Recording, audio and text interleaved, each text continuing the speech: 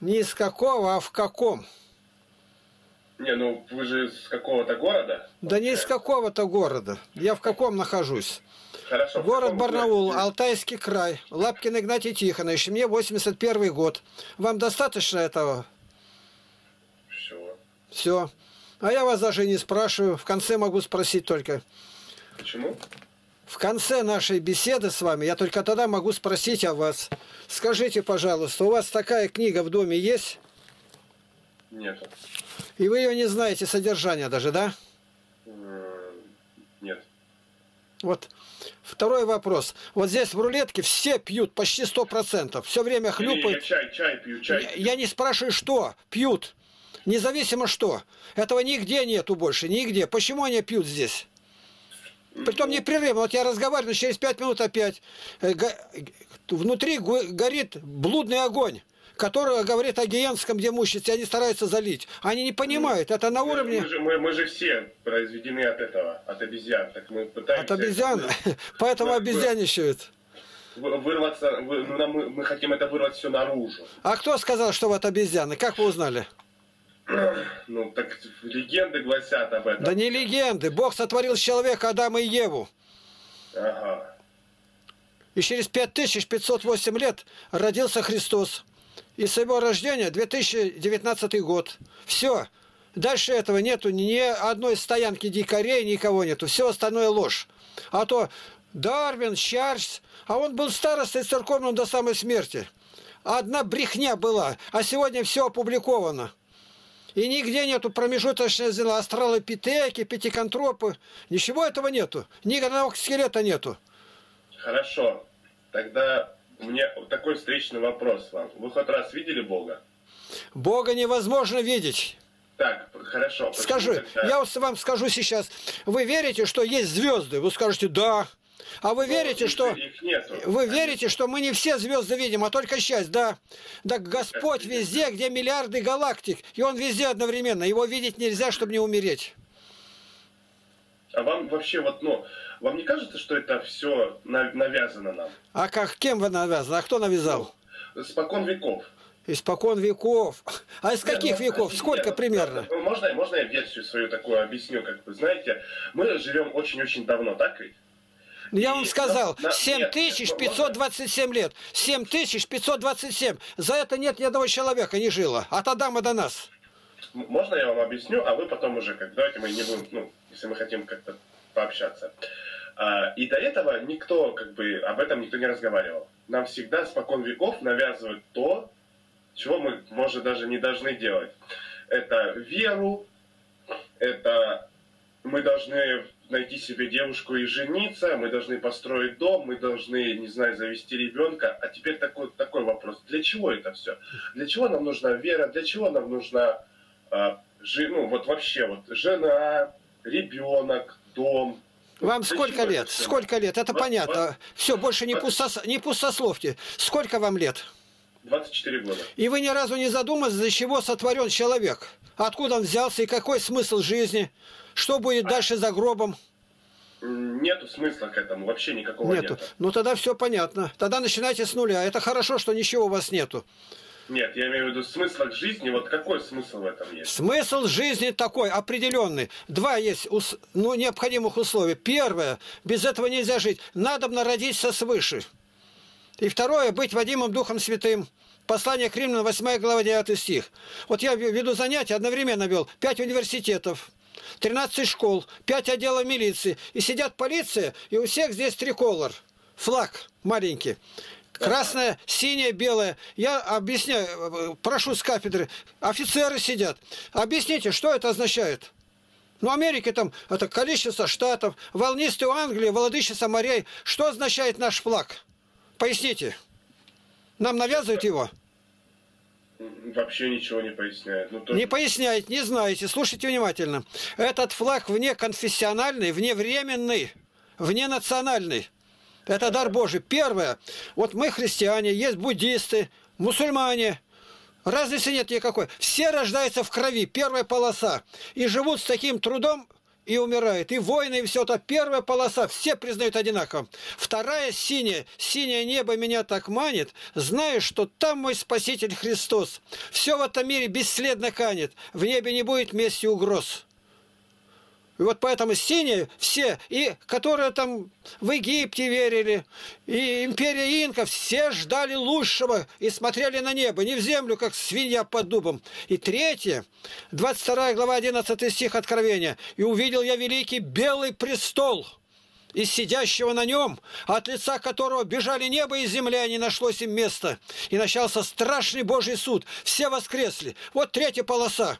Такого флага больше нигде нету. У России это проповедь. Родился, думай о небе, и дальше будет суд Божий. Как Лермонтов писал, есть Божий суд на перстике разврата, есть грозный судья, он ждет. Он недоступен звону злата, и мысли и дела он знает наперед. Мы в седьмом классе учили его. Я спрашиваю, а кто знает? Учительница не может ответить. Но это образное выражение, там, это Бог который я еще не родился, 138-й псалом. «Зародыш мой видели очи его». В нем у Бога записаны в книге все дни для меня назначенные. Я не могу никуда свернуть. Уже все занаряжено. Но я могу от зла повернуть к добру. Господь говорит, я тебе предложил жизнь и смерть, благословение и проклятие. Избери жизнь. Пророк Иеремия, это где-то 600 лет до, до рождения Христа. Вторая глава, 13 стих. Он говорит так. «Два зла сделал народ мой, два. Первый, меня, Бога, источник воды живой оставили, а высекли себе водоемы разбитые, которые не могут держать воды. Сколько ты не учись, все это умрешь, ничего дальше нету. А когда ты с Богом, ты знаешь, корабль, нагруженный добром, плывет к пристани к Царству Небесному, где нет конца жизни – Верующий в Сына Божия имеет жизнь вечную. Евангелие от Иоанна 3,36. А неверующий не увидит жизни, но гнев Божий пребывает на нем. Иисус умер за нас. Он ждет каждого человека, руки распростер, обнять его, чтобы жили для Бога. Вот никогда не, даже не задумались. Я просто буду спрашивать, знаете, сколько христиан на земле сегодня? Сегодня – не знаете. 2 миллиарда 200 миллионов. Люди, которые считают эту книгу и верят, мусульмане. 2 миллиарда. И почти 2 миллиарда буддистов. Итого, неверующих на земле на сегодняшний день 8% всего, агностики, все тут. Но на них падает 99,9 всех преступлений в мире. Потому что Бога нет, сдерживающего начала нет. Жена Владимира Ильича Ульянова говорила, Надежда Константиновна, определенно религия-узда для масс. Узду сбросили. Только за перестройку в Российской Федерации сделано 120 миллионов абортов. Государство исчезло. Хорошо. Дмитрий Иванович Менделеев говорит, если бы не... Комсомольская правда пишет на развороте, если бы большевики не победили в 17 году, нас бы было сегодня 650 миллионов, а нас 150 даже нету. Полмиллиарда какой зверь сожрал? Какой Змей Горыныч? Хорошо, хорошо, я вас услышал. Тогда такой вопрос. Как можно верить во все это, когда ты, живя в России, и видишь то, что происходит вообще в церквях? Я объясняю. Это просто отмывательство денег. Так, сейчас я еще скажу. Обождите. Про, про, про деньги, подождите. Про деньги не надо. Это слишком наивно. У меня нет, денег нету. Нет, это, это не наивно. Давайте посмотрим сейчас на среднестатистического россиянина, который работает на, на работе и пытается прокормить себя и жену, и двоих детей на зарплату примерно в 30 тысяч. И, э, так сказать, батюшка, который живет так, точно в, так, в таком же условии, только он живет в особняке в каком-нибудь с, хорошей, с хорошей машиной, и ну, по-любому деньги у него и в достатке. Ну шаблон, шаблон, обожди, маленько. У меня родной Почему брат, шаблон? у меня родной брат священник. У ну, него нету машины, жена агрономом работает, у него около ста вещих он пасет. Вот вы одно увидели у священника там где-то, а меня это не касается. У меня пенсия за 35 лет трудового стажа на сегодняшний день 8 тысяч 141 рубль 303 копейки. А зато батюшка получает больше, чем вы. Он работает, я, у меня другая работа. А вы так вы тоже работали? Вы Я работал, 10 я лет еще, и я, не, я никогда не буду на кого-то показывать. У меня отец с фронта вот так руки нету. И с матерью полкласса не кончили. А нас в семье десятеро, не два. Пять мальчишек, пять девчонок. И они никогда ни на кого не заглядывали, а работали. Мы с пяти лет с отцом пасли коров. И никогда власти не ругали, а то Путин виноват. Кто-то нам А будет... что? А, а вы хотите сказать не виноват? Я что говорить? Знаете, если вы маленько глядите, в стране у нас погублено за последние годы 21 тысяча населенных пунктов. Погублено? По- теперь, я- я- я теперь, сам- э, слушайте дальше, я закончу мысль. 10 тысяч дышат на ладан, один-два человека осталось. Мы получили статус заново, бывшая наша деревня, получили статус. Первым делом храм построили сами, за свой счет, школу государственную. Все строим сами. И дорогу делаем сами, электричество подвели. И шесть прудов восстановили, зарыбили. Мгм. Вот и все. Если бы каждый начал конкретно, то не показывать на кого-то, а работай. Чего я буду завидовать-то? Хорошо работай, все будет есть. Меня не давали работать. Не давали, советская власть. Я прораб. Работал в органах МВД. А после армии уверил, уверовал по Евангелию. Мне не дают нигде работать. Только в ведомственной охране. При том районе, где я живу.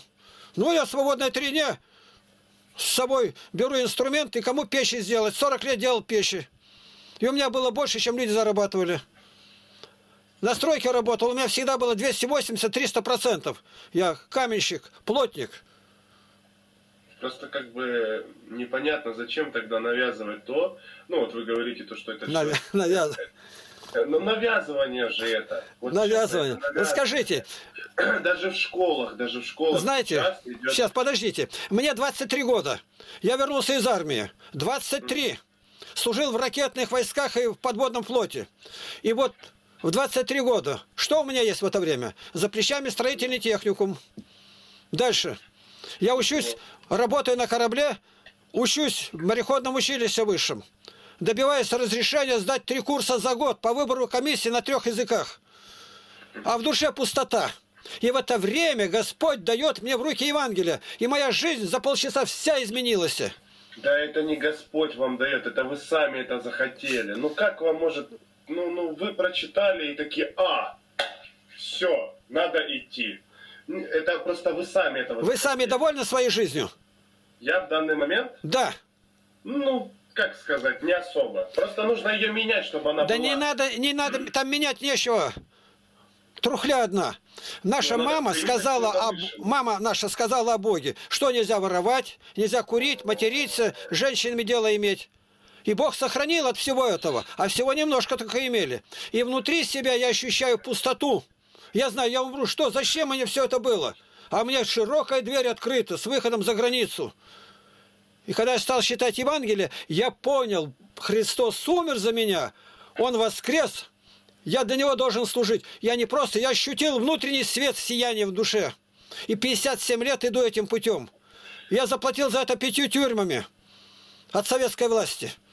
И одна ни- никогда не возроптала, только благодарю и благодарю. А вот говорят, ничего нельзя сделать. Мы участок обработали. Да Дальше. Я много беспризорных, согласен. Министр внутренних дел Нургалиев говорит 3,5 миллиона. Так передают. Я что делаю? Образовываю лагерь. Не отключайтесь только. Лагерь детский. И 45 лет его начальник, я должен сохранить детей, и чтобы было интересно. И три еще в новом формате, 30, 48. Ни рубля государство не дало. Тысячи детей подняли, конкретно. Преступников много. Согласен, я 18 лет сотрудничаю с местной тюрьмой. Бесплатно это все. В пяти университетах веду занятия бесплатно. Я ни рубля отказываюсь. Мне не надо. Я для Бога делаю все.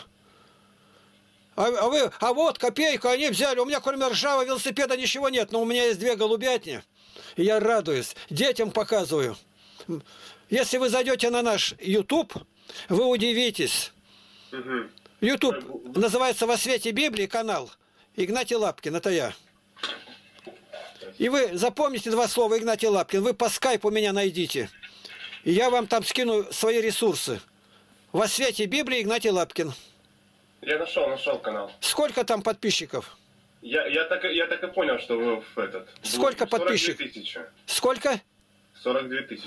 И 42 миллиона просмотров. И да. у меня на, на, на вот это, это мой канал. 17, 17 тысяч 300 роликов. Я вижу, вижу, вижу. 17 тысяч. Вот Господь позволил мне написать 38 книг, я что отвечал студентам. Три радиопрограммы вел, 38 томов. И Бог положил мне на сердце, Бог, я бы никогда не додумался подарить книги библиотекам мира. Из Барнаула, вот я в Барнауле, дошли до Владивостока, порт Находка. Вернулись, все посещая города, районные центры. Лиссабон, Португалия, Скандинавия, Прибалтика, Турция, Север. Посетили 650 городов.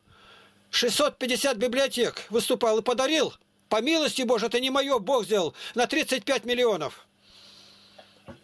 Вот как Бог делает. Я когда услышал, что десятая часть заработка должно отдавать на дело Божье, священству, я услышал это в 62 году, 27 сентября. Я решил, я буду платить 9 десятин. Из 100 заработанных 90 давать на дело Божье. И 57 лет прожил в этом. Поэтому на двух-трех работах всегда работал. Мне, а вы говорите, деньги, там, поп. Зачем мне смотреть за ним? Я за собой должен смотреть.